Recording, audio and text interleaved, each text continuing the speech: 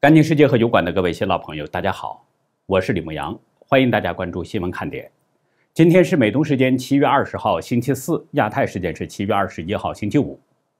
本来今天想换个话题了，因为秦刚、付小田的这个料几乎被挖的差不多了，可是没想到啊，还是有很多的新料又爆了出来，而且更劲爆。请大家完整看完今天的节目，到最后我们的猛料就一直穿插在这个节目的始终。先跟大家说一个最新的爆料，就是秦刚的家世背景。后面呢也会提到关于付小田的最新爆料，也是关于他的家世背景。但是我要强调一点啊，就是说明呢这两个爆料我都不能去证实，但是也都没有办法证伪。我们先说秦刚，据爆料消息。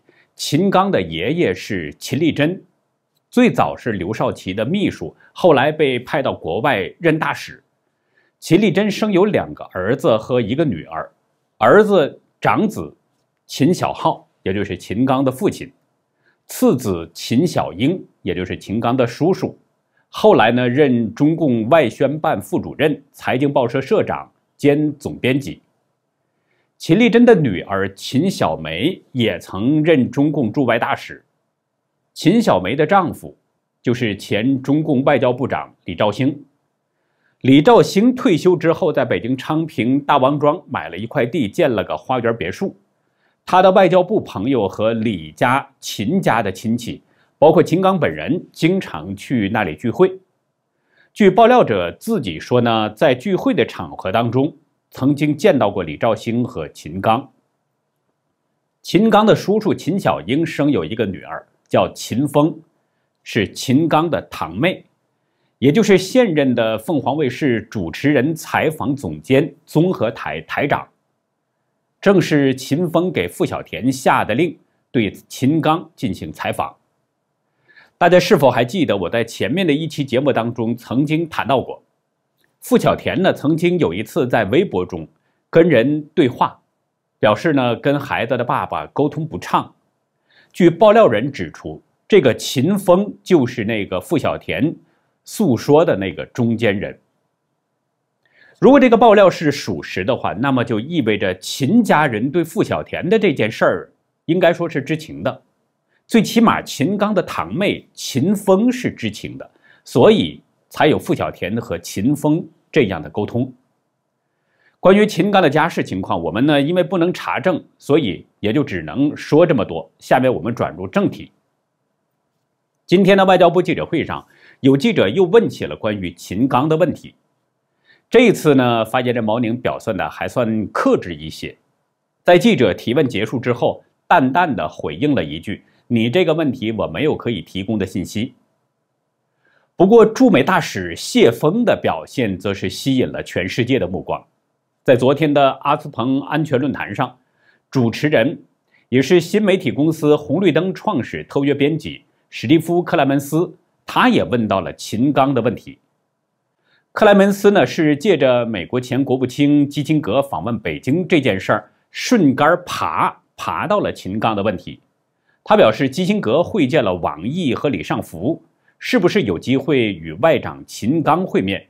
谢峰说：“让我们拭目以待吧。”说完了这句话呢，谢峰就把脸转向了台下，引发出了一阵开心的笑声。当然，他自己笑的也是很开心，声音很爽朗，台下也是爆出哄笑。随后呢，克莱门斯追问说：“就这些？没有了？”谢峰则表示：“还有，他会见到更多人。”然后克莱门斯说：“我们对前外长，我不应该这样说，应该是现任外长、前驻美大使的情况有兴趣。他去年在这个讲台上发过言，爱德华·卢斯采访了他。我们就是想知道他现在如何。我发誓，我以为他可能在做秘密外交，基辛格去那里会和秦刚接触，但是这方面消息还没出来。”如果真的是这样，我希望你给我们点独家消息。大家注意，克莱门斯这段问话呀，出现了一个小插曲。他先说了前外长，然后马上呢更正说，我不应该这么说，应该是现任外长前驻美大使。作为一个非常有经验的主持人呐，一个真正的资深媒体人，我不认为克莱门斯说出的这个前外长，这是一个口误，我不认为是口误这个说法。尽管是有这种可能性，但这样的可能性呢很小。我反倒认为啊，这是克莱门斯故意卖的破绽，用这样的方式来投石问路。秦刚事件，全世界现在都在关注。克莱门斯也是一样啊，否则他不会发出这样的疑问的。另外，搞清楚人物的身份，这也是一个媒体人的基本素养。何况克莱门斯这种资深的媒体人呢？而且他也清楚，秦刚问题是中共的忌点，谢峰不可能正面回答。可人们又都想了解一下秦刚现在的情况，那怎么办？克莱门斯经验丰富，就体现在这儿了。他用前外长这个称呼砸向了谢峰，砸向了中共的敏感部位，然后就通过观察受访者的反应，得出人们想知道的情况。不能不说，这个克莱门斯的确老辣，绵里藏针。而谢峰的回答和表现呢，的确让人觉得有问题了。他说啊，外交部发言人已经就此事向媒体做了简报，感谢你的关心。然后呢，在场的与会者又一次爆出笑声。人们笑什么呀？因为通过谢峰的这个回答和他的表现，人们已经捕捉到了想要的信息了。谢峰的笑不是那种礼貌式的微笑，而是爆发出自然的笑容，看不出任何尴尬的迹象。他的笑声爽朗，是一种发自内心的笑声，似乎很开心。我在前面的节目中曾经两次提到。秦刚和付小田事发就是谢峰给捅出去的。大家有兴趣的话呢，可以翻看一下我在前面的节目，这儿呢就不重复了。这是有爆料说谢峰给捅出去的。一位网友啊，还以谢峰的口气呢，在留言中表示说：“就是我举报的，等着看笑话呢。”至于他说就秦刚的问题，外交部发言人已经向媒体做了简报。这个呢，就是在打太极了，因为中共外交部的两名发言人王文斌和毛宁都没有给出一个明确的说法，他们都表示没有信息可以提供，顶头上司的信息都不知道，秦刚哪儿去了？外交部都没有信息提供，这说明什么呢？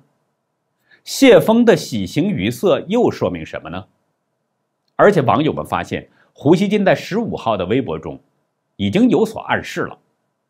胡锡进呢，当时写了这么一段话：有时一件事情大家都很关心，又不能在舆论场谈论，这样的情况应该尽量少。还是会有些事情在一段时间里很敏感，或者有密集，不好公开议论，这可以理解。但这种情况的持续时间要尽量短。总之，保持事物的环境与尊重公众的知情权需要取得平衡。胡锡进这段话明显是在影射，在全世界都在关注秦刚，而中共讳莫如深这个背景之下，他的这段话很自然就会让人将秦刚与他的这段话联系在一起。换句话说，胡锡进很可能就是在用这种打哑谜的方式，在暗示秦刚出了问题了，而且很敏感。那么这种情况下，秦刚还有复出的希望吗？难呐。比蜀道还难。最起码在八月份之前，他的事儿呢就很难有定论，甚至可能在八月上旬都不太可能有定论。为什么有这样的一个分析呢？昨天还有一个对秦刚相当不利的消息，就是中共外交部发出的一份公告：七月二十四号、二十五号在约翰内斯堡举行的金砖集团高级峰会。仍然是中共外事办主任王毅前往参加，而且呢，王毅在参加会议之后，还将访问尼日利亚、肯尼亚、南非和土耳其四个国家。金砖会议七月二十五号结束，然后访问四个国家，分别以一天的最短访问行程来计算的话，那么王毅回国的时间最早也是在七月二十九号，或者是在七月三十号。那照这样来分析，七月的整个外事活动都是由王毅在主持的。也就是说，在七月三十号之前，中共外长秦刚仍然不能理政。即使秦刚最终不会有事儿，他在这个七月也不可能公开露面了。不过，目前的这个中共外交部官网显示的信息呢，秦刚仍然是中共外长，还没有变化。由此就可以判断，习近平当局可能对秦刚的问题仍然没有定论。有这么一个需要注意的事儿：美国前国务卿基辛格正在以百岁高龄访问北京，并且呢，最新消息显示，他今天已经和习近平进行了会面了。有网络消息说，基辛格这次的访华行程是受人之托。据说呢，秦刚的妻子林燕。为了营救丈夫，请这位中共的老朋友基辛格来做说客，希望通过基辛格向习近平的求情，将秦刚给保下来。这个消息同样没有办法证实，外界不知道是不是确有其事，因为现在的中共也是非常希望基辛格来访华的。这个部分呢，我们稍后在后面会谈到。这里先说关于秦刚的内容。其实基辛格啊。如果真替秦刚求情，中国的媒体呢也不会报道。而且啊，基辛格就算是向习近平求情，习近平也未必会直接给他一个答应。这还要看中共各帮派之间的谈判勾兑情况。大家知道，每年的七月底八月初，中共的各个帮派、权贵、利益阶层都要到北戴河开闭门会议。虽然中共呢从不报道这个闭门会议，但是事实上这个会议对中共来说是非常重要的。中共各个集团的人事安排、各个帮派的利益瓜分，都是在这个闭门会议上内定好了的。也就是说，秦刚的问题呢，一定会在这个会议上进行讨论。各个帮派之间可能都会拿秦刚这件事儿讨价还价，然后再权衡各方面的利益需求。才能决定秦刚是弃是留，如何处理。根据往年的日程情况，这个北戴河会议的结束时间通常是在八月十号前后。那由此我们可以推断，秦刚最终如何处理，可能最早也得在八月十号前后才有定论。如果是我们分析的这样的话，那么秦刚平安复出的这个可能性就相当低了。复出的难度比蜀道都难，因为网易替代秦刚的这个中共外长事务，即使是到他下次外访回国的这个时间，也是已经超过了一个月了。如果到北戴河会议结束，那就已经接近一个半月左右的时间了。这么长的时间都没有定论，一方面是说明中共内部的这个打斗非常厉害，习近平现在有点举棋不定。另一方面也是反映着秦刚的问题不小，不仅仅是跟傅小田有一个私生子的问题。今天，前中共外交官陈永林再次接受大纪元的采访，他透露了一些重要信息。他的中共外交部前同事透露呢，秦刚果然涉及到中共火箭军泄密的问题，但跟之前的说法有那么一点区别。据陈永林的前同事表示说，今年五月呢，美国的中情局局长伯恩斯秘密访华，曾与蔡奇等中共官员进行会晤。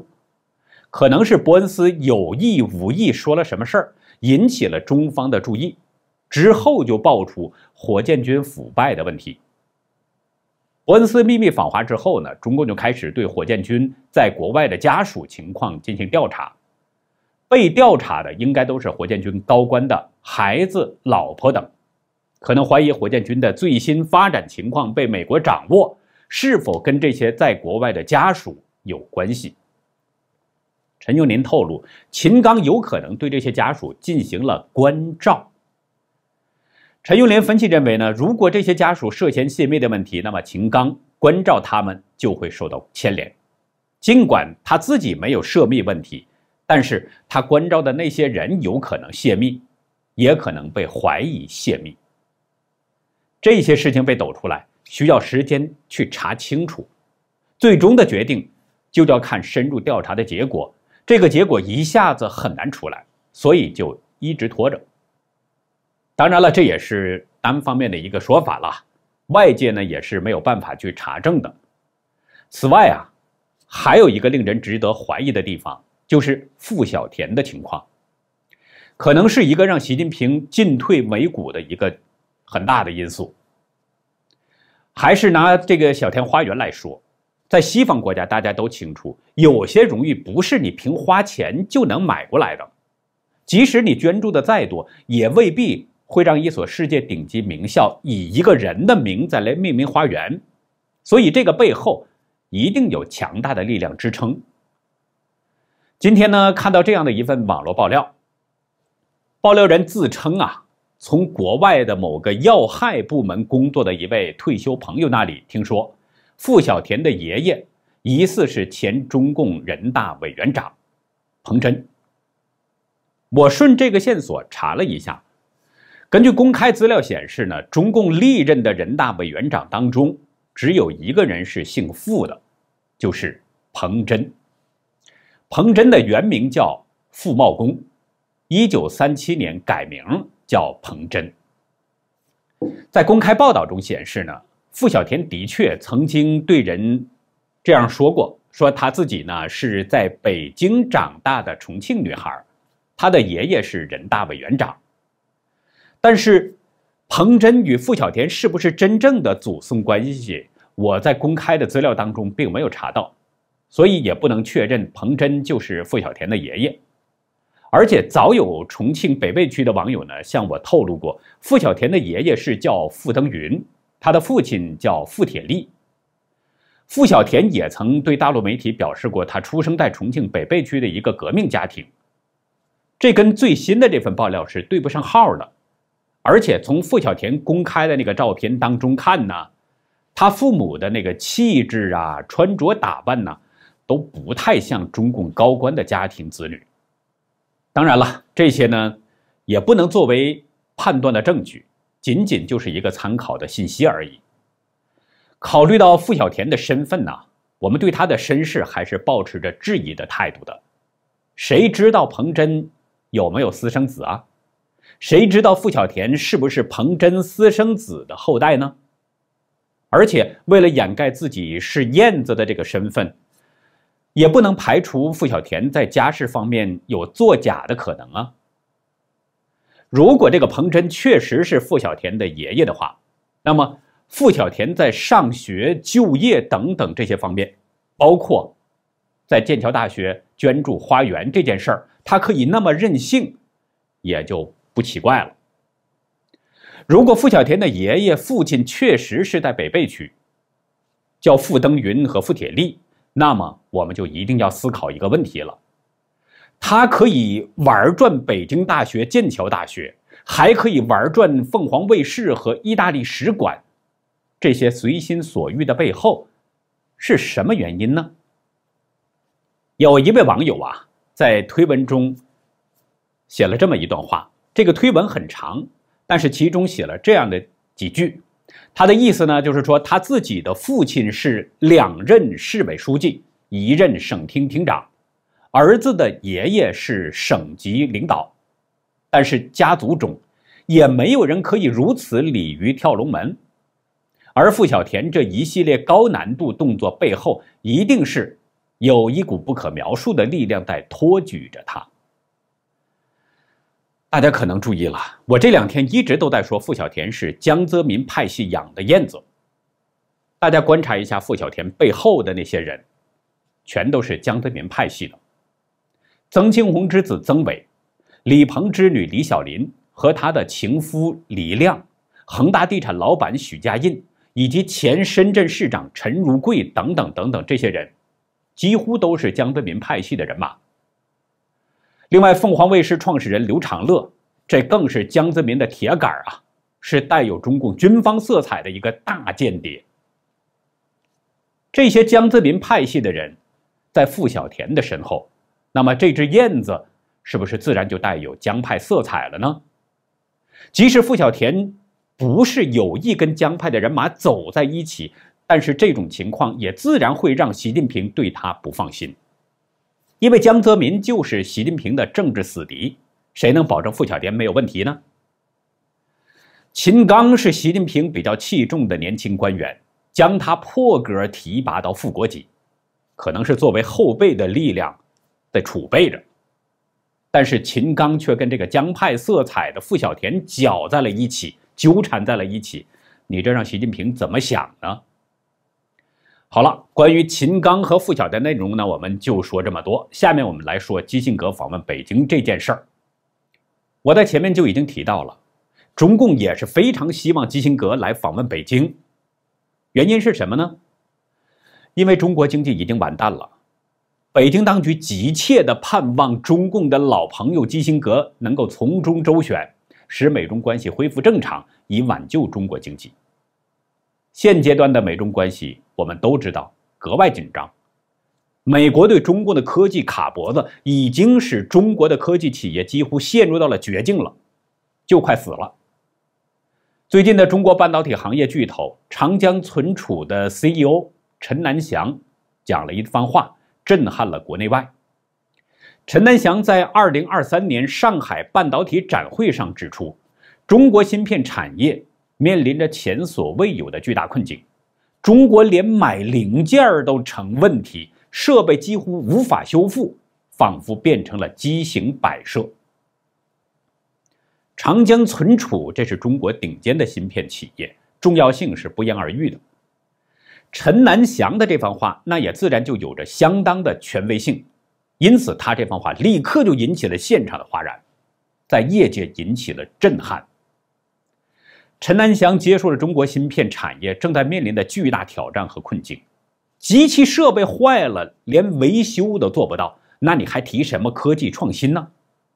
一切都是儿戏笑谈，这就就意味着一个更严重的问题：整个中国在这种状况下，将会在不久的时间就会陷入到巨大的科技困境，而北京当局却没有一丝一毫的办法解决。正是因为这种情况，所以中共急切盼望基辛格能够发挥润滑剂的作用，在美中两国间斡旋一下，以帮助北京改善这种糟糕的状况。基辛格这个人，大家是清楚的。当年尼克松访华，打破了美中两国之间的坚冰，就是基辛格给促成的。换句话说呢，正是因为基辛格的推动，中共才有了接触西方的机会。所以，基辛格一直被中共称为是老朋友。也正是因为基辛格帮助中共度过了最艰难的时期，所以中共啊，对这个基辛格如同家人。待如上宾，对他有着与中共高官一样，甚至可能会超越中共高官的优待。有网友呢在百度百科当中发现了这么一个问题：基辛格曾经换过六个心脏。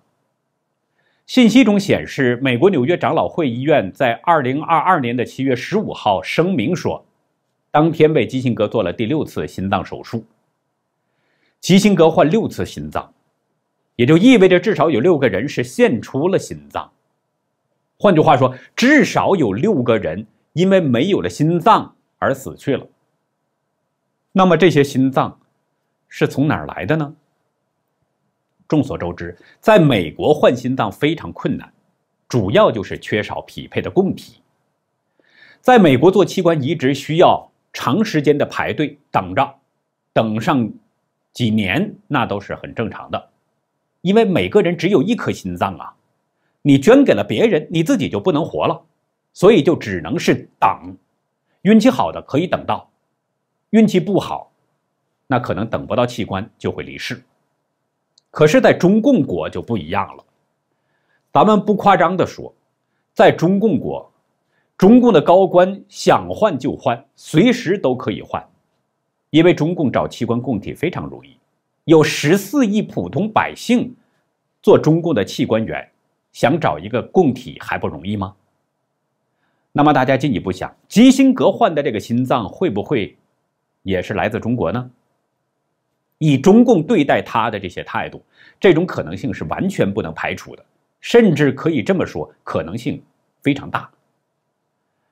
这里啊，我给大家讲一个故事，说是故事呢，其实是确凿的真事儿。十七号那一天，追查迫害法轮功国际组织公布了一份证词。这是一位法轮大法弟子被活摘器官后，在临终前的遗言证词。被害人呢是哈尔滨市的法轮功学员张秀琴。二零一九年四月二十八号，在中共联勤保障部队九六二医院，也就是原中共军队二幺幺医院被活摘的器官。医院方面的人员在清理遗体的时候呢，恰好张秀琴苏醒了过来，被一位有良知的医生给发现了，这才使张秀琴能在弥留之际亲口讲述被绑架、被酷刑、被性强暴、被活摘一个肾脏。等等，这样一个整个的过程，把这个过程完整的讲述了出来。我希望大家去看一看这份证词，证词的网址呢，我就放在视频节目的下方了。旅居加拿大的郑志先生，他在看过这篇证词之后啊，真名实姓，接受了海外媒体看中国的独家专访。一九九四年，在沈阳陆军总医院泌尿外科实习的郑志。讲述了自己亲眼目睹并且参与活摘器官的军事任务整个过程。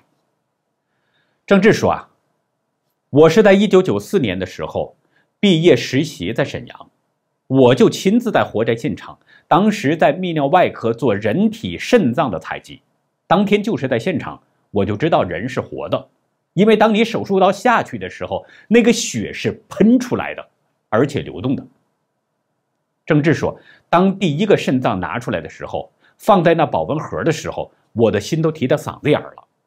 那个人是活的，因为我手扶着他的这个身体，不让他乱动，人在颤抖。”郑智说：“当时因为我还年轻，第一次看到这个非常害怕，就是非常恐怖的这么一种场景。当人还活着的时候，这个器官就被摘取了。”郑智表示呢，受害人被摘取器官之后，不是马上就死亡了，因为人脑死亡会有一个过程，相当一段时间。据郑智介绍，摘完器官后，那个止血钳就直接放在受害人的腹腔里头，防止血流的过多。